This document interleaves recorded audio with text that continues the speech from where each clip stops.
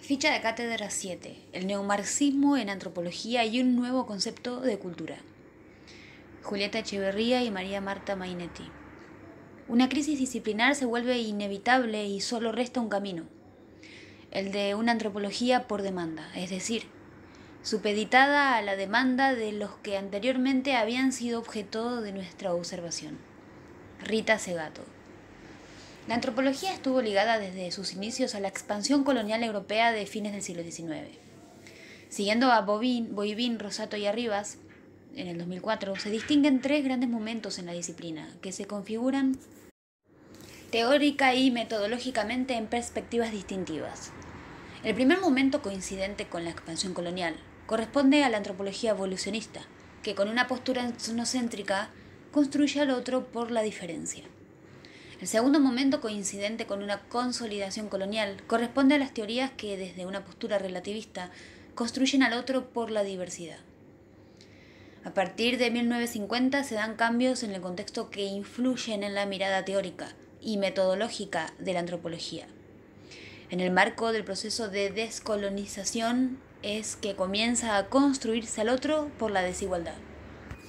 La antropología puede ser pensada en tres momentos centrales en relación a la forma de conceptualizar su objeto de estudio y junto con ello de definir su abordaje metodológico. El primer momento se caracteriza por la construcción del otro por la diferencia, el segundo momento por la construcción del otro por la diversidad y el tercer momento por la desigualdad. Boivin, Rosato y Arribas, en el 2000. Este capítulo tiene por objetivo hacer una breve presentación de algunas cuestiones centrales del tercer momento de la antropología para comprender esa construcción de la otredad por la desigualdad. Para ello se describe su contexto histórico en tanto marca algunas condiciones de posibilidad en la adopción del posicionamiento teórico y metodológico propio de este momento se señalan algunas claves de lectura con respecto al neomarxismo en relación con la antropología, centrándonos en el tema del poder, entendido como hegemonía y en la definición de cultura. Asimismo, se presentan algunas notas referidas a la postura metodológica de este momento, centrada en el extrañamiento y la desnaturalización. Estas líneas tienen la intención de introducir en las interesantes lecturas del tercer momento de la antropología y comenzar a dimensionar cómo este habilita a pensar distintas cuestiones de manera crítica y reflexiva, tales como la familia, el género, las prácticas de atención de salud. 1. Contexto histórico.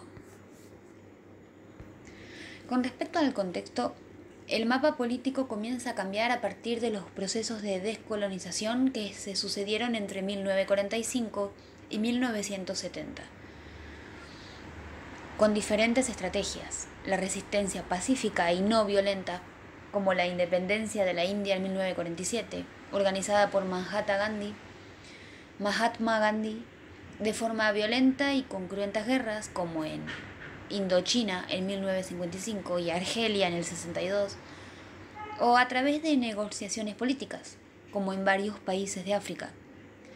En entre 1955 y 1962 se independizan una gran cantidad de países y en 1975 se considera concluida la descolonización.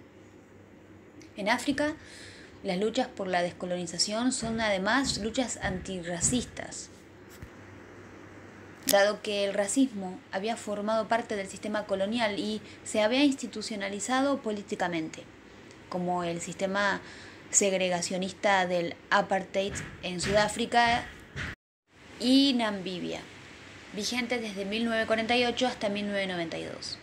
Aunque Sudáfrica se independizó en 1961, el sistema apartheid continuó hasta 1992, al asumir la presidencia Nelson Mandela. La descolonización se produjo al mismo tiempo que la Guerra Fría, por lo que los nuevos estados quedaron encuadrados dentro del bloque capitalista o del bloque comunista. La desaparición de los grandes imperios coloniales implicó una nueva organización política, pero la continuidad de una dependencia económica, que algunos autores denominan neocolonialismo, que unifica a realidades socioculturales diferentes en el llamado tercer mundo. Si en las primeras etapas del desarrollo del sistema capitalista los estados europeos eran los actores principales de la expansión conquistadora, en las últimas décadas los grandes grupos económicos financieros han ocupado ese lugar. La década del 60 se puede considerar como una etapa transicional dentro de este sistema social en el que se establecen nuevas maneras de dominar el mundo. Algunos de los fenómenos sociales que la identifican son el neocolonialismo, la expansión de las empresas multinacionales, el desarrollo fabuloso de redes de información electrónica. Nos encontramos entonces en un mundo globalizado. ¿Qué significa esto? La globalización, etapa actual de la expansión capitalista iniciada en los siglos XV y XVI. Representa el mundo entendido como un todo, un sistema único, con una organización mundial a cargo de algunos estados capitalistas poderosos, que se acrecentó en 1989, con la caída del muro de Berlín, que representó metafóricamente el fracaso del socialismo soviético. El fracaso del socialismo soviético. En la actualidad, el proceso de globalización, liderado por los Estados Unidos, tanto en el terreno económico, financiero, cuanto en el militar y comunicacional, se caracteriza por el monopolio de la revolución tecnológica en sus dos vertientes, la informática y la genética, que parecen permitir un ahorro de la fuerza de trabajo y de las instalaciones requeridas en la etapa anterior del capitalismo. Esto es, la dominación de los países centrales está presente tanto en la situación colonial como también en la etapa postcolonial. En esta situación postcolonial o de neocolonialismo, se produjeron cambios en la forma de dominación en tanto que los nuevos pueblos mantenían una relación de dependencia económica con los países centrales, cuyo papel de dominantes les permitió producir transformaciones en estas culturas. El proceso de descolonización que habilitó estos cambios en la forma de dominación en Occidente condujo también a una transformación en la mirada y las prácticas de la antropología sobre las otras culturas. 2. Posicionamiento teórico, el neomarxismo. Hasta mediados del siglo XX, la antropología no había cuestionado el sistema colonial, sino que lo consideraba como algo dado e inevitable. El contexto descolonizador influyó en un cambio de perspectiva que estuvo marcado por una crítica a todo sistema de dominación en general y al sistema colonial en particular. Para la antropología, la descolonización significó el descubrimiento de la situación colonial y del subdesarrollo socioeconómico de los pueblos donde los antropólogos habían desarrollado sus actividades profesionales. Tomando conciencia de sus trabajos de campo, dejaban de lado los fenómenos de violencia y exterminio a que eran sometidos los nativos. Esta mirada crítica va a implicar el cuestionamiento de algunas categorías propias de la antropología clásica, tales como el relativismo cultural, que si bien había significado una superación de la mirada etnocéntrica del evolucionismo, no podía dar cuenta en un mundo globalizado de las desigualdades ocasionadas por el avasallamiento del sistema colonial. Es decir, ciertas diversidades se habían convertido en desigualdades como producto de la dominación. Entonces, si bien las teorías de la diversidad cultural tenían el mérito de criticar los postulados del evolucionismo, sosteniendo la equivalencia entre culturas diferentes y reivindicando el respeto por los otros culturales, la crítica desde el tercer momento a las teorías del segundo momento se centran en que dichas teorías no reconocían la desigualdad. Esto es, la relación desigual entre esas otras culturas y la de los países centrales de Occidente. Néstor García Canclini plantea esto destacando la cuestión relacional y de poder que allí opera. Dos puntos. El relativismo cultural naufraga finalmente por apoyarse en una concepción atomizada y cándida del poder. Imagina a cada cultura existiendo sin saber nada de las otras, como si el mundo fuera un vasto museo de economías de autosubsistencia, cada una en su vitrina, imperdurable ante la proximidad de las demás. repitiendo invariablemente sus códigos, sus relaciones internas. Por otra parte, el relativismo entendía a las culturas como todos homogéneos, no permitiendo ver los conflictos, injusticias y dominaciones al interior de las mismas. Cabe destacar que el relativismo puede ser considerado como un método que implica conocer la perspectiva del otro antes de emitir un juicio, o como una postura teórica que implica no comparar, no juzgar, entender cada práctica, cada cultura en sí misma. Mientras que el relativismo metodológico seguirá siendo fundamental para la antropología, el relativismo teórico será cuestionado, acusado de presentar limitaciones. Es decir, ¿podemos justificar como válida cualquier práctica cultural sin juzgarla en su dimensión ética? En ese caso se justificarían prácticas discriminatorias, violentas, dominantes. El relativismo cultural tuvo su valor cuando se pensaba a las culturas como entidades independientes.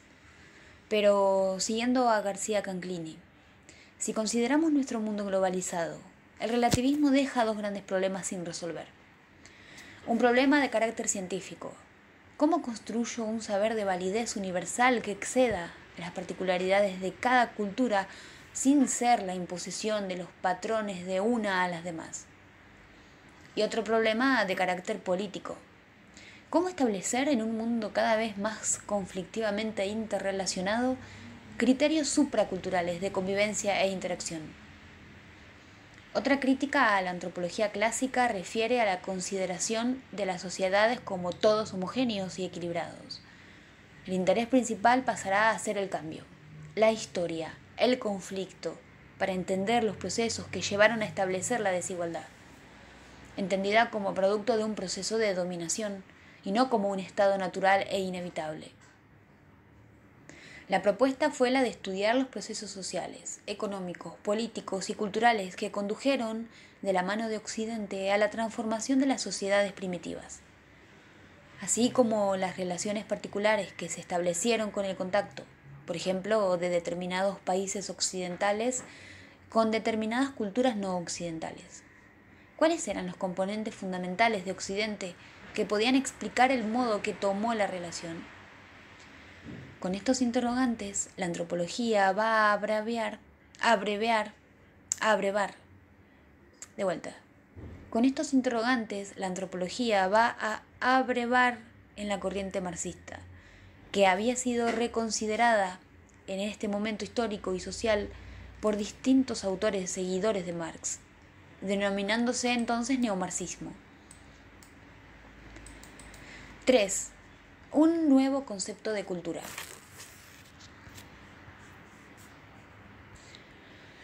Desde sus inicios, la antropología había entendido la cultura como todo lo aprendido por el hombre. Todo lo que no es naturaleza, lo adquirido por vivir en sociedad. De esta manera rompía con la concepción filosófica que entendía la cultura como el conjunto de conocimientos intelectuales y artísticos, considerando así que algunas personas son cultas y otras no pero este concepto de cultura tradicional, utilizado por la antropología, presentaba un problema. Tendía a englobar todas las instancias y modelos de comportamiento de una formación social.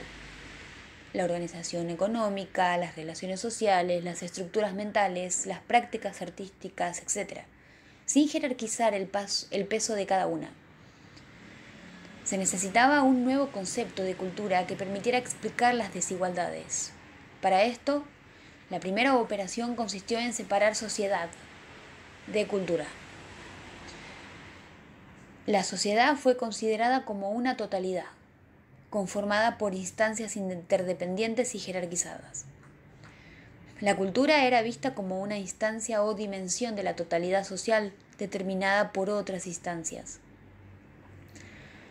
Ahora bien, dentro de las teorías marxistas tradicionales, el concepto de cultura no estaba contemplado como lo entendemos hoy, siendo que el concepto que más se aproximaba por su carácter simbólico era el de ideología.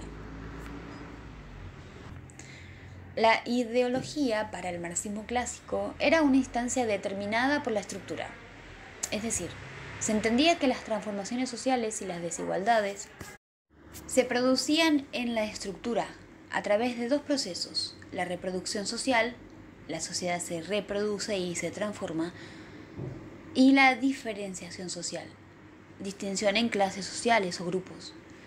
La superestructura reflejaba lo que sucedía en la base material de la sociedad. Para el neomarxismo, en cambio, la cultura puede por sí misma intervenir en la reproducción y diferenciación social.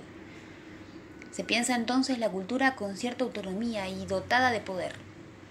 En esta línea se toman las conceptualizaciones en torno al poder de Antonio Gramsci, quien distingue entre poder coercitivo ejercido por el Estado o por fuerzas represivas, poder hegemónico, aquel que se obtiene por consenso y legitimación. Es decir, no puede ser impuesto de modo coercitivo, sino que tiene que ser aceptado como legítimo.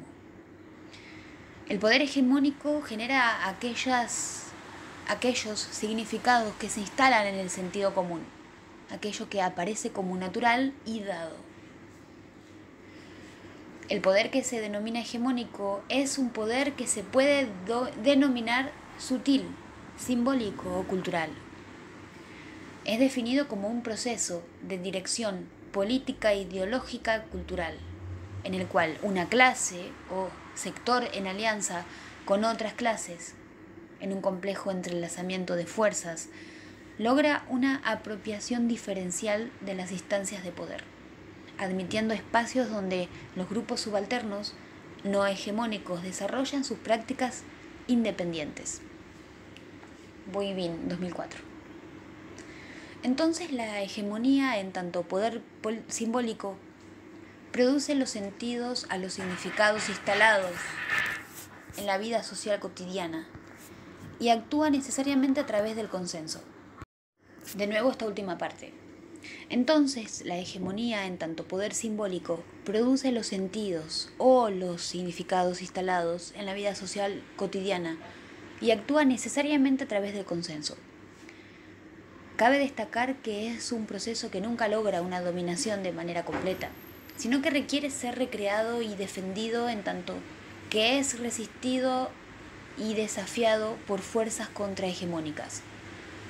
La relación de dominación, incluso la hegemónica, es una relación conflictiva, en la cual encontramos consenso, adaptación, sometimiento, pero también resistencias, oposiciones por parte de los dominados. Teniendo en cuenta lo anterior, se puede comprender la nueva concepción de cultura como la producción de fenómenos que contribuyen mediante la representación o reelaboración simbólica de las estructuras materiales a reproducir o transformar el sistema social. Toda producción de sentido que es al mismo tiempo material y simbólica y que representa y reproduce la realidad, las estructuras materiales, un sistema social.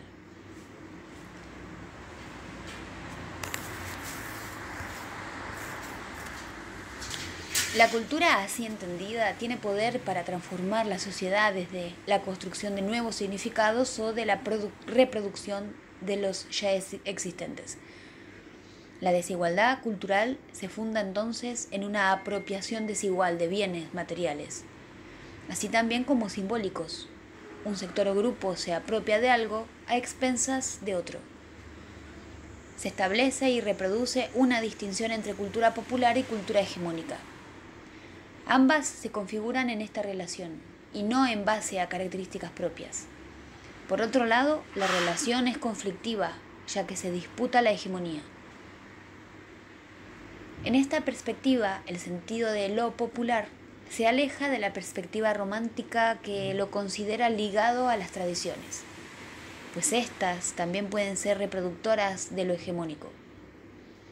Es decir, que las costumbres más arraigadas y extendidas en las clases populares son a veces formas de resistencia, pero en otros casos no constituyen más que la rutina de la opresión. Pensemos en la popularidad del machismo. A la inversa, lo masivo, que tan eficazmente contribuye a la reproducción y expansión del mercado, y la hegemonía, también de la información y los canales para que los oprimidos superen su dispersión, conozcan las necesidades de otros y se relacionen solidariamente. Esta concepción de la desigualdad cultural se basa en que, como se mencionó previamente, la cultura puede por sí misma intervenir en la reproducción social. La sociedad se reproduce y se transforma. Y en la diferenciación social, en la distinción en clases sociales o grupos. Canclini sostiene entonces que la desigualdad se produce en el nivel de la producción y también en el nivel del consumo.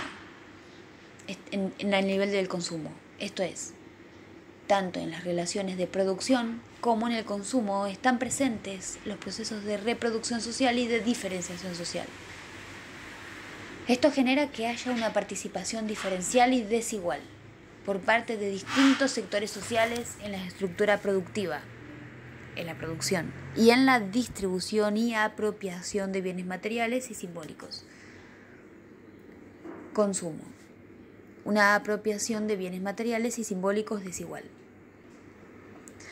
Esta transformación teórica de la antropología sostiene que la desigualdad es una realidad, pero que no es natural o esencial de una cultura, sino que es una construcción social e histórica y que tiene carácter relacional. En los momentos anteriores de la antropología, la diferencia estaba entendida como grado de evolución y la diversidad como las distintas racionalidades para afrontar la vida en sociedad.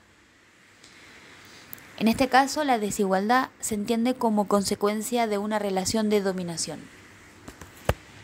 Como se mencionó previamente, la desigualdad se basa en una apropiación desigual de bienes materiales y simbólicos apropiación desigual que genera relaciones sociales asimétricas, que toman formas diversas, entre sexos, entre parientes, entre clases sociales, entre sociedades, y que se expresan en formas culturales, económicas, políticas y sociales distintas.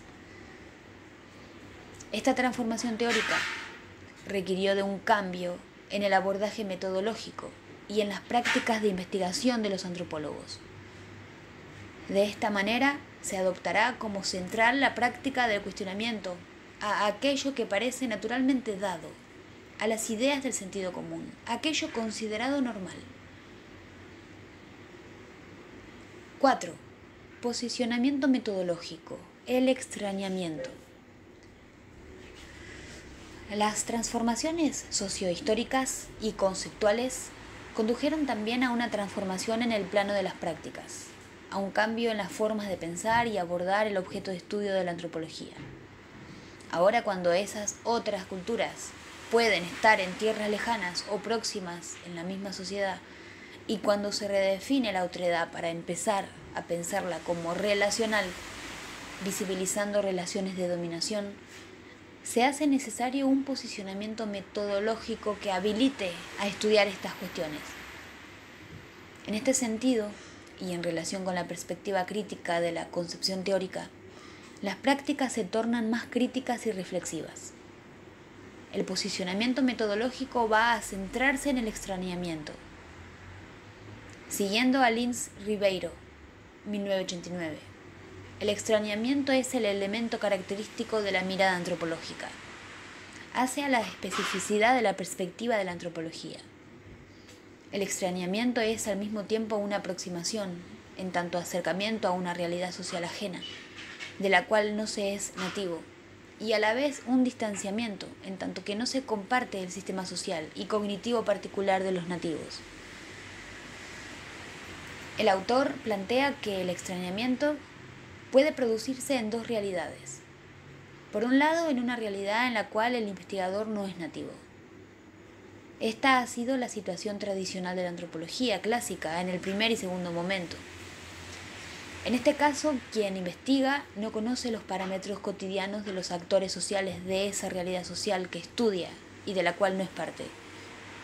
Su objetivo entonces es hacer familiar aquello que en principio es exótico. Esto es intentar transformar aquello que es desconocido en familiar. Por otro lado, el extrañamiento puede producirse en una realidad social en la cual el investigador es nativo. Esto es, que como parte de esa realidad social conoce y comparte el sistema social y cognitivo. Su objetivo aquí es entonces hacer exótico lo familiar.